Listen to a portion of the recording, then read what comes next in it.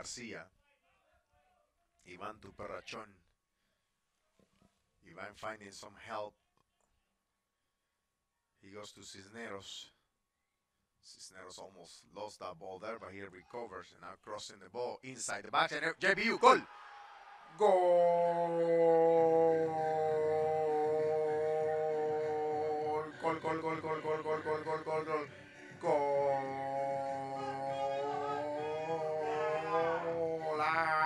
Alejandro Ramirez.